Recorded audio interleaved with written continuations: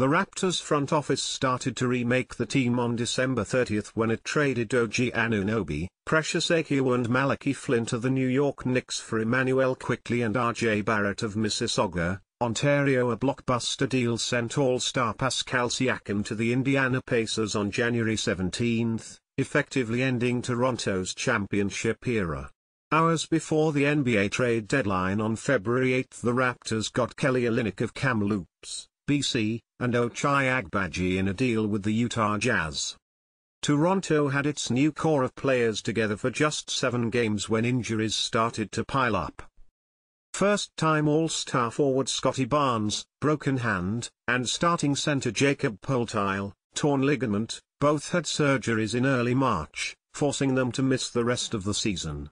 Barrett Quickley took leaves to grieve the death of loved ones, and backup center Jontay Porter was put on the inactive list as the NBA launched an investigation into irregular betting patterns.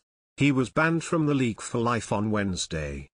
All those absences contributed to 15 consecutive losses, the second worst skid in team history, and Toronto, 25 to 57, staggered to the sixth worst record in the league.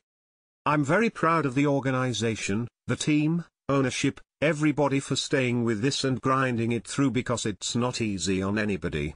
It's just not, said Ujiri, joking that it was probably even hard on reporters to cover the team. It was unwatchable sometimes but we have to grind through it. But if there's one thing that never moved it's our culture that has really kept us through this. I'm proud of all the workers, all the departments, everybody that has contributed to this. Toronto's rebuild will continue through the off-season with two or three draft picks in this summer's draft on June 26 and 27. The Raptors' number of picks is contingent on the results of the draft lottery on May 12.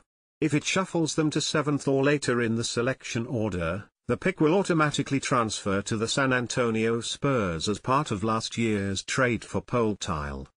Toronto has a 37.2% chance of moving into one of the draft's top four picks and a 9% chance of selecting first overall. The Raptors, however, have a more than 50% chance of dropping to 7th or worse and losing the pick, leaving them with Indiana's first round pick and the Detroit Pistons' second round pick. Ujiri dismissed the notion that the 2024 draft is of lower quality, noting that former NBA MVP Giannis Antetokounmpo and perennial All-Star Rudy Gobert were both drafted in 2013, an allegedly poor year of basketball prospects. I think players are found everywhere, said Ujiri. I can guarantee you they're going to be two or three All-Stars that will come out of this draft here. It happens every year, happens all the time.